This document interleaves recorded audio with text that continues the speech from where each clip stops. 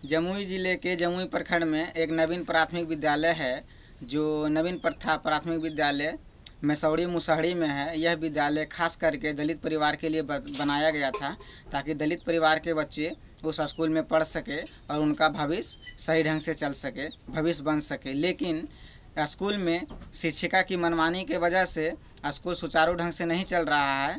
इस कारण से वहाँ के बच्चों का भविष्य खराब होता जा रहा है। तुम पढ़ाई करने के लिए कहाँ जाता है? नवीन प्राथमिक विद्यालय जमुई स्कूल किस तरह से चलता है? अच्छा नहीं चलता है। क्या क्या दिक्कत होता है? ड्रेस दिक- का पानी पीने में दिक्कत बढ़ता है और लेटरिन करने में दिक्कत बढ़ता है। और क्या क्या होता है? पढ़ाई नहीं पढ़ाता है। कौन पढ़ाई नहीं पढ़ाता है? आरती कुमारी। आरती कुमारी कौन है? Head madam. हेड मैडम है। हाँ। वो फ़ोन पे गप करते रहती है। और क्या क्या करती है? दारू पी पीता। मैडम दारू पीती है? हाँ। तुम लोग के सामने में? हाँ। तो तुम लोग बोलती कुछ ना है? बोलेंगे क्या? बोलते हैं तब डांटने लगता। है डांटने लगता है। क्या बोलता है? कहता है क्या पिएँगे ना? तुम लोग को क्या जाता? पर हम लोग के सामने पीजिएगा।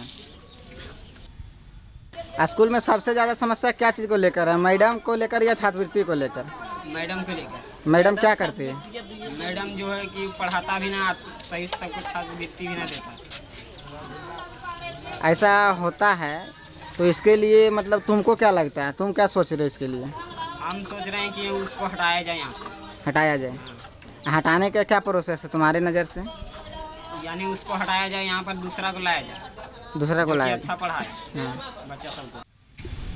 छोटी कुमारी और फुलेश्वर कुमार जैसे मैसौड़ी मुसहड़ी में कई दलित परिवार के बच्चे हैं जो वर्तमान में उस स्कूल में पढ़ रहे हैं। तो उनका पढ़ाई बाधित ना हो, इसके लिए मैंने इस वीडियो को बनाया हूँ। वीडियो देखने वाले मेरे सारे साथियों से अनुरोध है कि जिला शिक्षा पदाधिकारी का mobile number nine double zero six three six seven five seven nine पे कॉल करके दबाव बनाएँ और इस समस्या का समाधान करने में हमारा मदद करें। मैं अशोक कुमार जिला जमुई बिहार से इंडिया अनहट के लिए।